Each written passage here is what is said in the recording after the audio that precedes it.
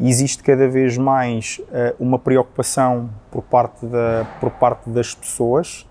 em conseguir um, perceber se de facto uh, aquilo que estão, que estão a ler e estão a ouvir uh, é real. E então vão talvez procurar várias fontes de forma a conseguir compreender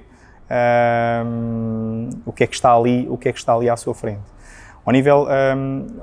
ao nível político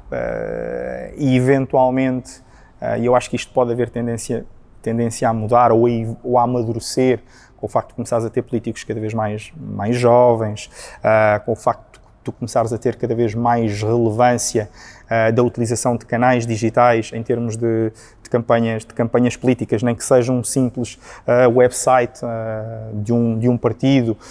ou de um candidato a um, a um, qualquer cargo, por forma a recolher, a recolher informação. Um, eu não sei é se a forma que está a ser feita é a mais correta ou se eventualmente não deveria de ser feito um trabalho de perceber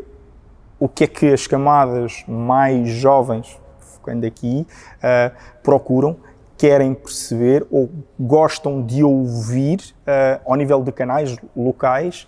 para que então o, o, os partidos, os partidos políticos ou esta componente mais democrática possa possa interagir, uh, mas que nem sempre uh, é um tema que é fácil de, de, de, de elaborar, de, abordar, não é, uh, mas confesso que não é uma temática na qual eu tenha, tenha parado para avaliar, analisar um, e pensar sobre, sobre ela.